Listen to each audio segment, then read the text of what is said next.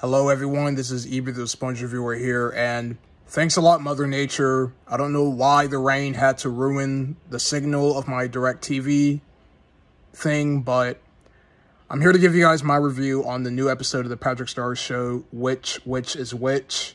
And unfortunately, you guys, um, it's raining outside. It affected um the signal of my DirecTV dish outside, and I wasn't able to see the ending of the episode thanks to the rain. So I'm just going to have to give you guys my review of what I've seen so far of the episode, and I'm just going to let it be.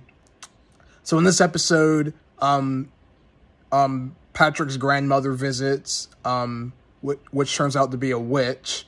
Um, so Patrick's grandmother visits, and it's a witch, and so she basically um, teaches Squidina um, how to do magic and whatnot. So um, so yeah, so that's all I can say about this episode is that um, um, Patrick's grandmother teaches Squidina how to do magic tricks and whatnot, um, such as riding a broom.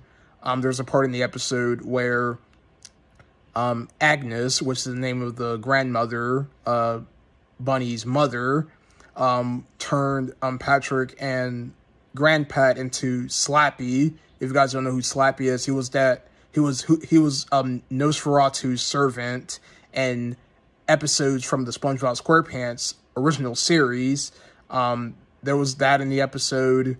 Um, and yeah, that's all I can say for right now is because that I, I don't know what, what happens at the end because the freaking rain outside screwed up the signal.